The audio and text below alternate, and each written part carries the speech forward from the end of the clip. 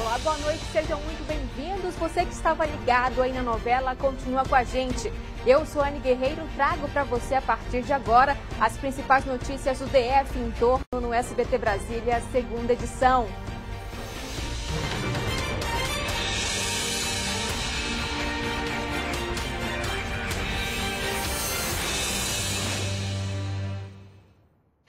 Você é daqueles que gosta de, numa comemoração, soltar fogos de artifício? Então presta atenção porque tem novas regras para quem vende e até para quem usa. As normas foram publicadas hoje no Diário Oficial da União.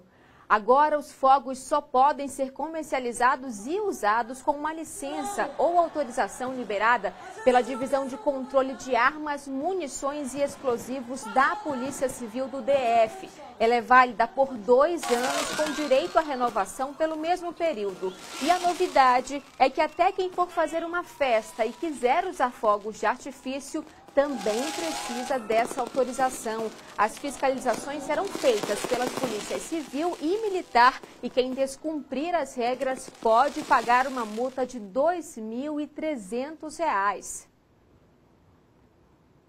A cada instante aumenta a preocupação e também as medidas para combater a violência nas escolas em todo o país. O governo federal injetou dinheiro e aumentou a fiscalização nas redes sociais. Aqui no DF, a Secretaria de Segurança Pública aumentou o efetivo do batalhão escolar e o monitoramento na internet. Vamos ao vivo com a repórter Tayane Melo agora, né? Porque teve decisão também na Câmara Legislativa como os distritais vão agir, Tayane? Boa noite. Exatamente, Sônia. Boa noite a você e a todos. Os deputados distritais vão acompanhar todo o trabalho da Força de Segurança vão apurar as causas, consequências e as formas de prevenção desse tipo de violência. Tudo isso será realizado por meio da subcomissão de prevenção aos ataques nas escolas, que foi aprovado por unanimidade pela Câmara.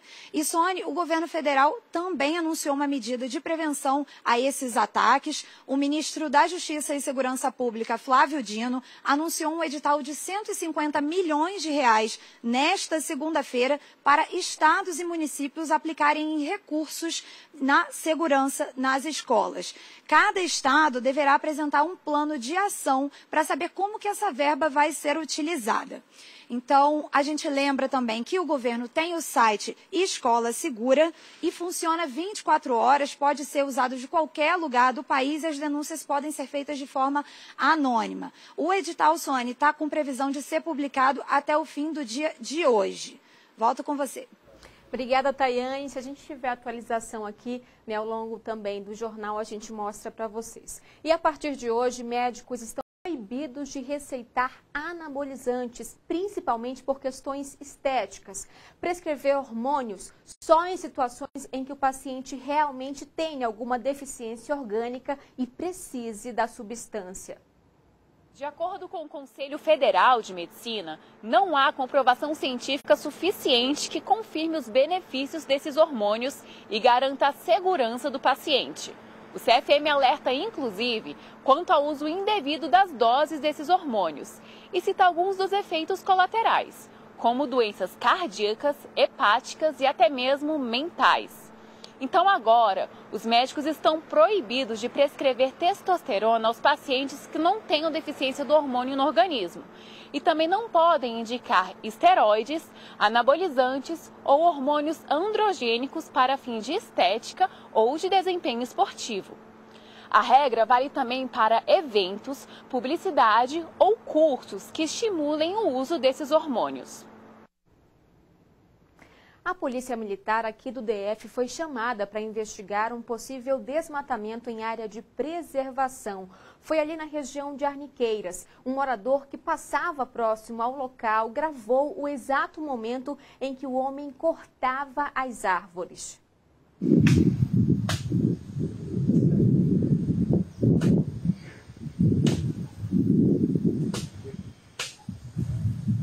Aí esse barulho, não dá para ver exatamente o homem, mas dá para ver uma movimentação ali das árvores e também o barulho desse equipamento que ele, que ele usava. Então, esse foi exatamente o resultado dessa ação do homem que a Polícia Ambiental encontrou quando chegou lá no local vários troncos no chão, madeira já separada e uma boa parte do terreno limpo, sem árvores. A mata estava cercada por placas. O delegado-chefe da 11ª Delegacia responsável pelo caso não deu detalhes, mas informou que já vem investigando uma empresa privada que estava ali supostamente loteando e vendendo ilegalmente áreas de preservação ambiental. Por enquanto, um homem foi detido e autuado por corte ilegal das árvores. Sabe aquela garrafa PET, latinha ou outras embalagens recicláveis que vão direto para o lixo? Esse material pode ser usado agora para conseguir desconto na conta de luz. E quem mostra para a gente essa novidade é o repórter Márcio Fontinelli. O que antes era lixo, agora pode se tornar desconto na conta de energia. Com o nome Vale Luz, o projeto desenvolvido pela Neoenergia converte a coleta de alumínio e plástico em pontos que o consumidor poderá utilizar para abater no valor final da conta ou em doações para entidades de caridade. Para participar do programa Vale Luz, o consumidor vai fazer o seu cadastro na máquina, no aplicativo ou no site. E aí, em seguida, ele pode vir aqui é, para iniciar, fazer o seu login, né, entrar na conta vai digitar o e-mail, o nome do usuário. Para você reciclar, você clica aqui, recicle aqui. A máquina vai abrir o compartimento e aí você pode é, inserir o seu resíduo, que, tem, que não pode estar amassado porque tem que estar legível o código de barras. Para participar, cada usuário deve estar cadastrado no chamado Programa de Fidelidade Triciclo. Para isso, basta acessar o site do projeto ou baixar o aplicativo no celular. Qualquer pessoa pode fazer parte da ação mesmo aquelas que moram em regiões que não são atendidas pela Neoenergia. Neste caso, os pontos são revertidos em doações para entidades assistenciais inscritas no projeto. Todo o material deve estar higienizado e deve ter código de barra visível. A ideia do programa é incentivar a reciclagem total de resíduos sólidos, preservando a natureza. Cada consumidor pode depositar até 25 itens por dia. Você pode ir acumulando, não é necessariamente trocar naquela mesma hora, naquele mesmo mês. Pode ir acumulando e aí quando você tiver a pontuação desejada, você pode trocar por desconto na conta de energia. Fica a dica, né, gente? Olha só que susto esse funcionário de 36 anos passou hoje. Ele estava trabalhando na abertura de uma galeria pluvial feita pela Secretaria de Obras quando parte do barranco desmoronou. O acidente foi na chácara 6 do Sol Nascente. O homem ficou soterrado até a altura dos ombros.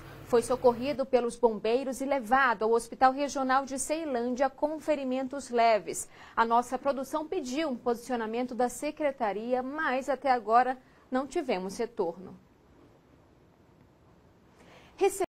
de um serviço que não contratou, ninguém quer, né? Mas essa é a principal reclamação dos brasilienses no PROCON. As empresas telefônicas lideram o ranking de insatisfação e não para por aí. Uma pesquisa da Anatel também mostra que a qualidade dos serviços né, ofertados pelas operadoras telefônicas piorou.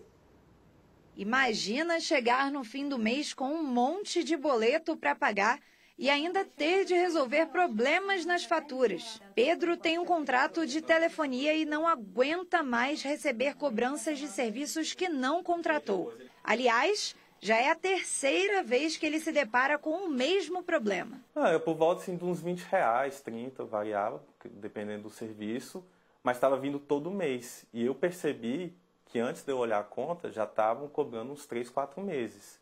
Pedro tentou resolver o problema pelo serviço de telemarketing da empresa. Depois de passar horas e horas esperando o atendimento e não conseguir, ele registrou a reclamação no site consumidor.gov.br. Aí, na mesma semana, o problema foi resolvido. No site, as reclamações sobre o serviço de telefonia não param de chegar. A empresa de telefonia Claro lidera o ranking das reclamações do Procon aqui no DF. Na lista de registros, uma das pessoas diz que a fatura cobrou um plano que não foi contratado. Este outro cliente relata que a cobrança teve um salto de 129 para 189 reais. Ainda de acordo com o Procon, no ranking das operadoras de telefonia que o brasiliense mais tem reclamado, aparece a Oi e em seguida a TIM. Uma pesquisa da Anatel também revelou queda na qualidade dos serviços no ano passado em relação a 2021. Caso o consumidor tenha algum problema, esteja é, insatisfeito com a solução proporcionada pela prestadora, ele pode buscar os canais da Anatel através do nosso aplicativo Anatel Consumidor, do nosso site ou dos nossos canais de atendimento 1331 e apresentar a sua reclamação. Apesar da dor de cabeça para o consumidor, as empresas de telefonia resolvem cerca de 85% dos problemas apresentados pelo Procon. Esta advogada dá dicas para clientes que não estão satisfeitos com o serviço ele deve procurar os serviços de atendimento vinculado à própria empresa, inclusive definindo prazos para que a empresa o responda. Caso essa tentativa de resolução de problema não seja resolvida de forma administrativa, esse consumidor pode procurar o Procon e também a Anatel para formalizar uma reclamação. Em nota, te informou que se compromete em atuar com agilidade para resolver as demandas e melhorar a qualidade dos serviços e atendimentos. Já a operadora telefônica Oi esclareceu que também tem investido no aprimoramento dos serviços. Reforçou ainda o alto índice na solução de demandas. Nossa produção entrou em contato com a empresa Claro, mas ainda não teve resposta. Uma cachorra nadava no Lago Paranoá quando foi atacada por um grupo de capivaras. Ela sobreviveu porque o dono do animal conseguiu afastar o bando. A cadela Golden Retriever Gaia já está em casa se recuperando da cirurgia de quase quatro horas depois de ser atacada por capivaras. Ela ficou ferida em várias partes do corpo. O ataque foi durante um momento de lazer. Gaia nadava no Lago Paranoá como, segundo o tutor, já é acostumada a fazer há vários anos. No momento em que a cadela deixa o lago, ela acaba encontrando um grupo de várias capivaras que estava às margens, a poucos metros de onde ela nadava. Na hora que ela saiu da água, tinha um arbusto com umas 30 capivaras, a maioria delas fugiu e duas atacaram ela rapidamente, certo? Eu tive que intervir e deu no que deu, né? Marcelo contou que depois de compartilhar o ataque nas redes sociais, outros internautas também disseram ter sido vítimas. Já recebi pelo menos uns três relatos de, de pessoas falando que foram atacadas também. E se a gente não fizer alguma coisa agora, daqui a pouco a gente não consegue viver mais em Brasília. Segundo o IBRAM, um estudo ambiental apontou que não há superlotação de capivaras na orla do Lago Paranoá. Mas, por serem animais silvestres, a orientação é manter distância. Aqui no Lago Paranoá é o habitat natural né, dessas capivaras. Né? E a capivara ela tem uma tendência de autodefesa e defesa do bando, que aconteceu. Vocês lembram do caso da paciente que morreu ao cair de uma janela da UPA de Ceilândia no mês, no mês passado? Hoje, o IML divulgou a causa da morte. Cidalva Guedes morreu por traumatismo craniano. Ela estava internada com dengue hemorrágica quando caiu de uma altura de 2 metros. Foi socorrida, mas morreu dias depois. Na época do acidente, a família questionou a forma como Cidalva foi socorrida. A paciente não teria sido entubada e a ambulância para transferir Cidalva para o hospital de base demorou mais de três horas para chegar. O caso está na Justiça. A Câmara Legislativa aprovou hoje a revitalização no setor comercial sul, um projeto do Executivo com foco no empreendedorismo para estimular atividades como cursos de pós-graduação, creches, educação profissional de nível técnico, serviços de tecnologia da informação. O projeto não prevê moradia. O plenário da Câmara Legislativa do DF aprovou o nome do médico Juraci Cavalcante Lacerda Júnior para presidir o IGES-DF. Agora ele pode, de fato, assumir o cargo. Juraci Lacerda Júnior tem 38 anos, está como diretor de atenção à saúde do IGES e é pós-graduado em gestão hospitalar e operacional. Nessa reta final de Poliana Moça tem muita coisa acontecendo. E a Gabriela Saad, que faz a Violeta na novela, conta pra gente como vai ser esta semana. Olá, meus queridos brasilienses! Poliana Moça tá imperdível essa semana. Vamos aos spoilers? Tião captura João, o arrasta pro saguão do aeroporto e acaba o levando pro Ceará o delegado aprova o plano de Gleice contra Tânia. Eu acho que pode funcionar.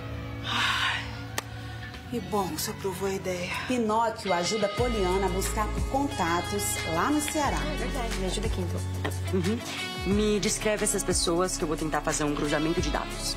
Enquanto isso, João questiona como Tião conseguiu um pedaço de terra, sendo que nem tinha o que comer. Diz uma coisa. Como é que tu conseguiu esse pedaço de terra se tu não tinha o que comer? Eugênia e Davi propõem um teste de DNA para ver se o Zezinho é mesmo o pai das crianças. Nossa, será que o Pedro e a Chloe realmente são meus filhos? Zezinho, você não pode ser precipitado, por favor. A gente tem que tomar muito cuidado para as crianças não, não sofrerem mais uma decepção. Eu entendo toda essa sua preocupação e atenção, dona Eugênia, mas essa possibilidade existe. Otto e família vão atrás de João, mas percebem que caíram numa emboscada. E esses foram os spoilers dessa semana. Poliana Moça tá imperdível, não tá? Contamos com vocês de segunda a sexta, oito e meia da noite. Lembrando que Poliana Moça começa logo depois do SBT Brasil. E eu volto já, me espera caído muita chuva, né, gente? Para amanhã à tarde deve ser assim de novo. Essa é uma característica de abril, um mês chuvoso. Para se ter uma ideia, só ontem choveu aqui no DF, mais da metade prevista para o mês inteiro. Então, cuidado, principalmente no trânsito. Olha aqui pelas câmeras do DR, a gente vê aí na saída do Eixão Sul, destino para o aeroporto de Brasília é um trânsito carregado, a gente vê aí as pistas molhadas, então é preciso redobrar essa atenção aí no trânsito e também, é claro, ter muita paciência, né, para dar conta de chegar em casa tranquilo. A gente agradece então aqui a sua participação com a gente, uma ótima semana para você e até amanhã.